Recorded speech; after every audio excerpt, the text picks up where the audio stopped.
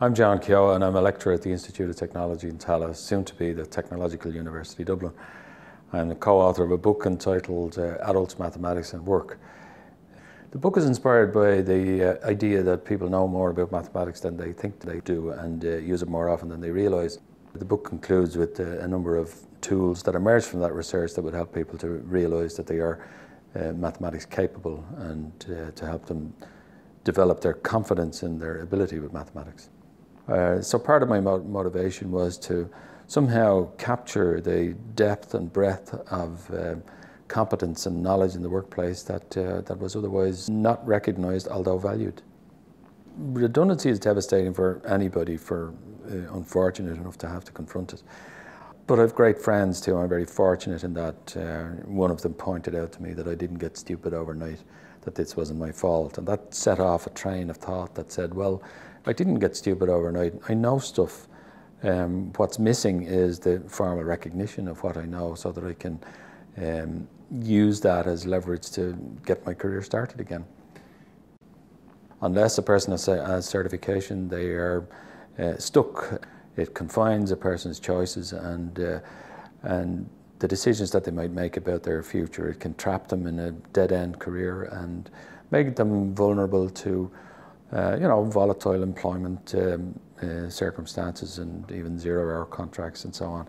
But competence in work is about much more than uh, the qualification that, uh, that gets you there. The disjoint between the classroom and the workplace was that mathematics is explicit in the uh, classroom and it's uh, invisible in the workplace. Now, so invisible that people were convinced they didn't do mathematics.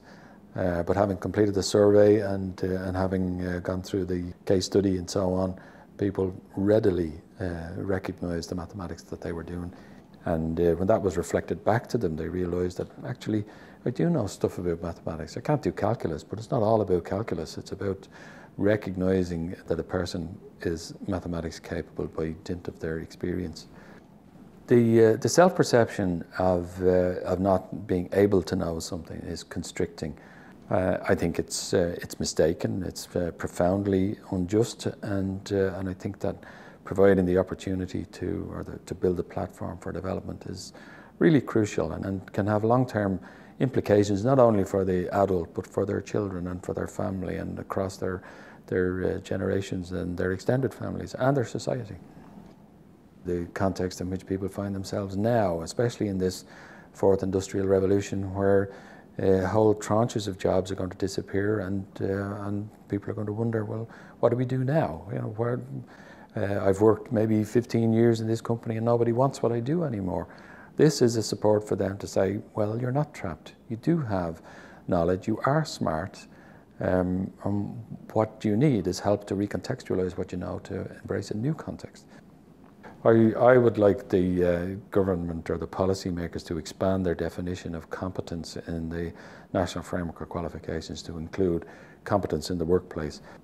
While we recognise uh, competence in the formal qualifications uh, framework, we don't teach it explicitly, uh, we don't assess it explicitly, uh, it's just awarded uh, and how a person may have an abundance of real workplace competence even if their formal uh, education is uh, more modest.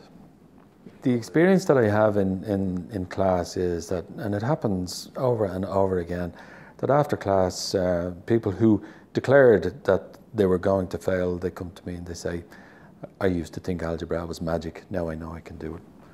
And I have no hesitation in telling them my story that uh, I too was an adult learner. Returning to learning after many years has elapsed, yeah, it's a challenge, but uh, people are smart. I'm convinced that all of the students I meet are smart. What they're missing is information, and I'm happy to share that information with them.